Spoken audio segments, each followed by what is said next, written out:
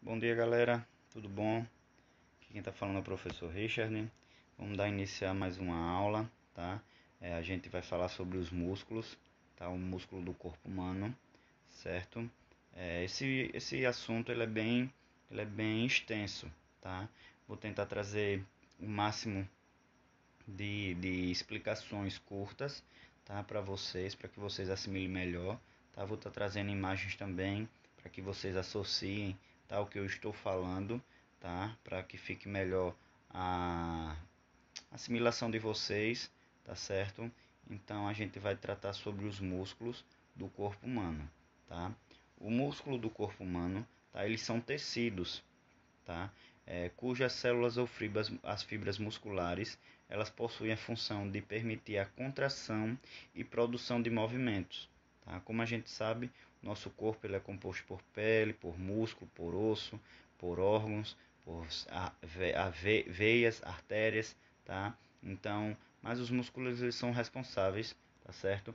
Pela contração e produção de movimentos do corpo da gente, tá? Nossos músculos também ele tem a, a função de proteção, né? Para que é a proteção dos nossos órgãos, né?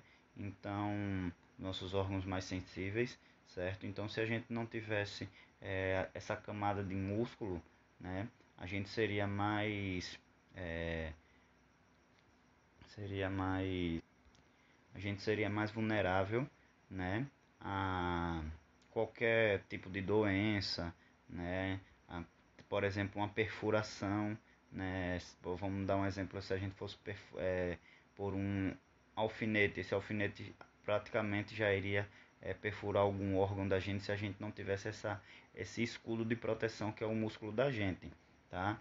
É, os músculos, tá certo? Eles têm dentro deles, tá bom? Eles têm possuem umas, umas fibras, tá? Então essas fibras elas elas têm as fibras lentas e as fibras rápidas, tá bom? É, como na imagem está mostrando aqui para vocês, tá? É, tem o músculo, tá? E por dentro dele existem essas fibras, tá? Então a gente tem diversas, várias fibras de tipo lento e várias fibras de tipo rápido, tá certo? Então, é, vamos dizer assim que, por exemplo, é, um, um cachorro vem correndo atrás da gente, tá? A gente utiliza mais o tipo de fibra rápido, tá?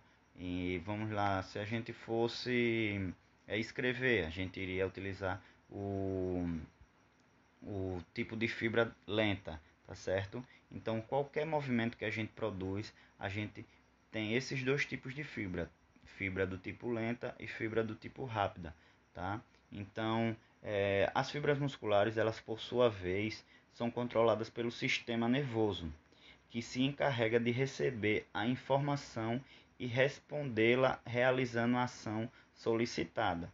Tá? Para ficar mais claro para vocês, tá certo?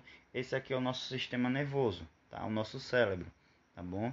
É, vou dar um exemplo aqui para vocês que se a gente, por exemplo, colocar a mão no fogo e a gente fosse esperar é, esse essa ação, né, chegar de forma lenta no nosso cérebro para que ele pudesse transmitir para para nossa, vamos dizer assim, a mão, a gente estivesse colocando a mão no fogo, né? Então, se fosse é, de uma forma lenta, a gente iria queimar. Então, por isso, é o nosso sistema nervoso, tá certo? Ele controla, tá? As nossas fibras, tá certo? Mas, ó, os, os movimentos, tá certo? São controlados pelos músculos, tá? E os músculos, por conta de suas fibras musculares, são controladas pelo sistema nervoso, tá? Que o sistema nervoso ele representa uma rede de comunicação do organismo e ah, é formado por um conjunto de órgãos do corpo humano que possui a função de captar as mensagens estímulos do ambiente, interpretá-los e arquivá-los, tá? Então, se todo, todos, é, todos os movimentos, todos os reflexos que a gente tem rápido é por conta do nosso sistema nervoso tá? Que ele transmite rápido para nossos músculos e assim a gente consegue fazer um movimento rápido. Por exemplo, como eu vim, vim falando antes, se um cachorro vier correndo atrás da gente, a gente for utilizar a fibra do tipo rápido, quem manda para o, o músculo esse comando é o sistema nervoso, tá? Então tudo, tá certo? Se passa pelo sistema nervoso para que ele é, transmita, tá certo? O movimento, beleza? E por exemplo, é, ele também tem a capacidade de arquivar um, o, o movimento, tá? Ele tem a capacidade de arquivar, tá certo? O estímulo, por exemplo, a gente é, esse movimento, tá certo? Se por acaso a gente, ele, o nosso sistema nervoso ele não tivesse é, a função de arquivar, a gente, por exemplo, é, não iria estar, tá, não iria, ia ter que aprender, tá certo?